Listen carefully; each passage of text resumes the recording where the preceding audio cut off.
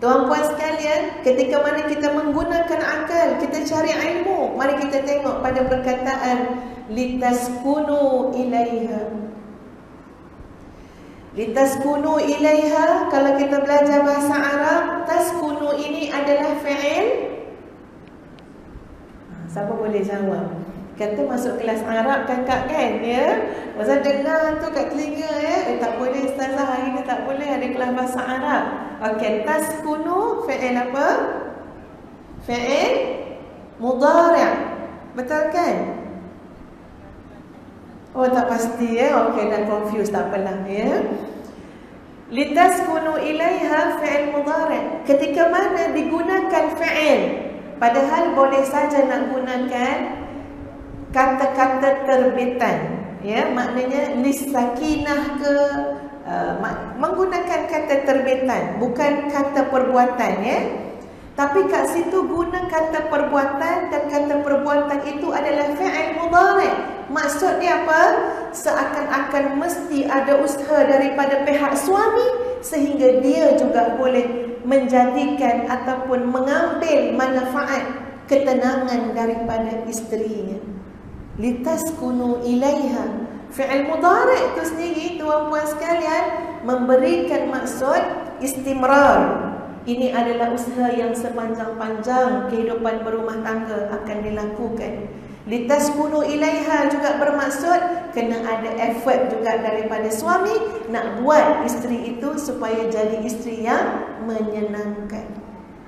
Kat mana kita nak tahu semua ni? Kita kena belajar Belajar bukan pakai nafsu Belajar pakai akal Belajar pakai hati Belajar ya kadang-kadang dan kebanyakan masa belajar itu mesti pakai iman Ya, ada banyak benda tak terfikir di akal, terbatas akal untuk faham, tapi dengan adanya iman, ya kita percaya, kita yakin dan kita akan dapat cuba untuk memahaminya.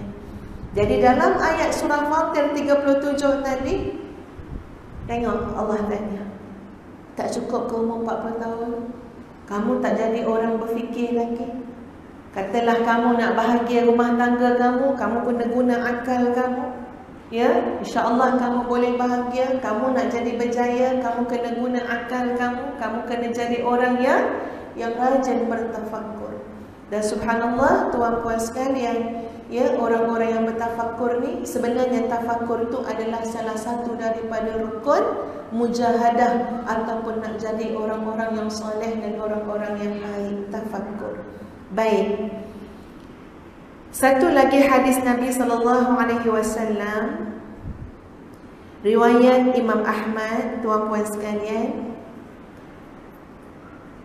Ustazah bacakan maksudnya sahaja. Seorang hamba muslim bila usianya mencapai 40 tahun Allah akan ringankan hisab ataupun perhitungan amalnya. Ha, ini ihsan Allah. Rahmat Allah yang sangat luas. Nampak eh, 40 dah umur hamba tu, maka Allah akan permudahkan hitungan amal. Contohnya macam mana? Ni contoh ya, dah keluar daripada cerita hadis tadi. Contoh dia macam mana? Kadang-kadang bila usia kita 40, 50 ya tuan-puan, ada beberapa amalan yang kita tak dapat buat seperti mana aktif dan cergasnya kita buat masa kita muda. Orang dah sakit lutut, dah sakit belikat, mata dah tak nampak, kencing manis, gaut, ya. Nak datang kuliah ilmu dah tak boleh. Nak kena nunggu telefon anak cucu tolong hantar. Kena anak cucu ada program yang lain tak dapat hantar. Tapi Allah lebih kurang dengan orang-orang seperti ini. Kalau kita lihat pada hadis yang lain ada menyebut mafhumnya seseorang itu walaupun dia dalam keadaan sakit tapi pahalanya mengalir umpama dia dalam keadaan sehat. Maksud dia apa tuan-puan sekalian? Dia pernah buat amalan tu sepanjang dia sehat. Tiba-tiba dia sakit. Dia dapat tak pahala amal tu? Dia dapat. kerana sekarang dia tak buat kerana dia diuji dengan sakit tapi terbukti semasa dia sehat dia melakukan amal tersebut sama juga masa dia muda dia buat amal tersebut. Dia pergi cari ilmu. Dialah jadi penggerak masjid surau untuk mengimarahkan masjid surau dengan kuliah ilmu. Sampai usia dia 40-50 tahun tuan-puan sekalian dia tak mampu melakukannya lagi kerana banyak faktor dan kekangan. Bagaimana hisap ke atasnya? insya-Allah perkara yang dia buat pada masa muda terhalang dibuat pada masa tua kerana kesihatan dan sebagainya insya-Allah pahalanya akan mengalir sebab tu jangan salah faham. Jadi AJK masjid bila dah tua. Ya, nak tolong program-program kemasyarakatan dah jadi macam macam program orang tua-tua. Eh tengok kadang-kadang AJK AJK tu ya, semua penuh beg dengan ubat tu darah tinggi kecil manis. Tapi jadi AJK pendaftaran. Mana pergi orang muda?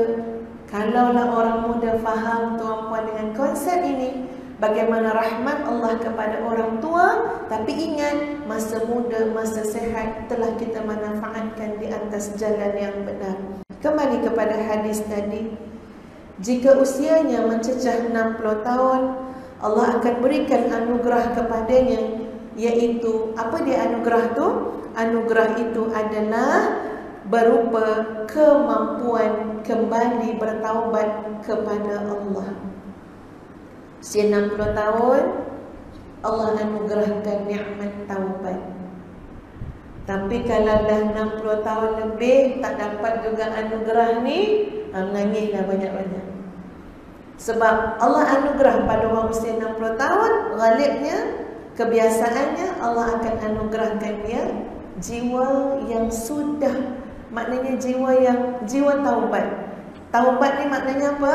Kembali kepada Allah. Ajak tengok wayang, tak nak. Ajak pergi shopping, kirim je. Ya semua dah tak nak dah. Tapi kalau pergi masjid, ah, laju Kalau pergi kuliah, laju. Dah nampak dah, dah nampak dah.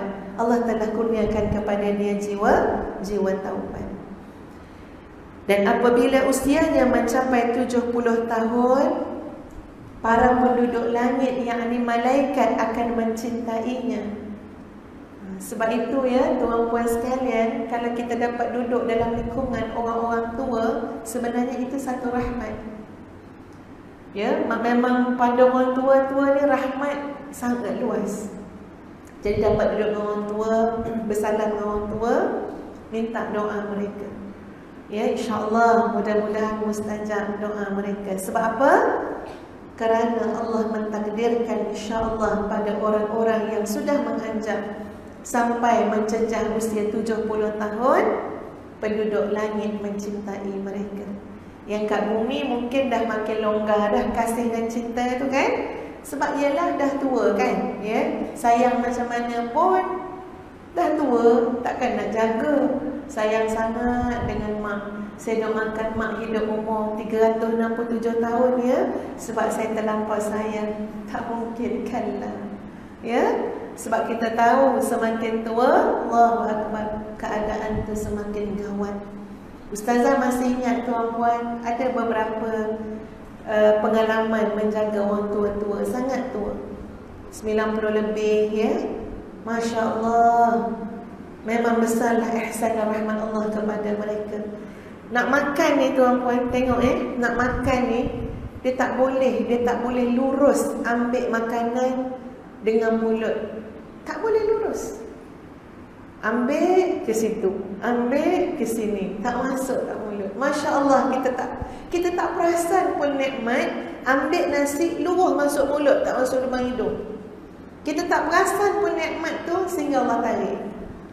Dan saya lihat benda tu. Ya pada nenek-nenek yang dulu-dulu Yang kita tolong jaga. Masya Allah sian. Tapi ingat InsyaAllah penduduk-penduduk langit mencintai mereka Dan bila usianya mencapai 80 tahun Allah akan menetapkan amal kebaikan dan menghapuskan amal keburukan Dan bila usianya mencapai 90 tahun Allah akan ampuni dosa-dosanya yang lalu dan dosa-dosa terdahulu Allah juga akan beri pertolongan kepada keluarganya serta Allah akan mencatatnya sebagai tawanan Allah di muka bumi. Ya wallahu a'lam bisa kena rujuk juga pada ismulalah ya uh, status hadis ini ya. Tapi ini ada disebutkan hadis riwayat Ahmad ia bercakap tentang fasa-fasa dalam umur seseorang manusia ataupun seseorang hamba Allah.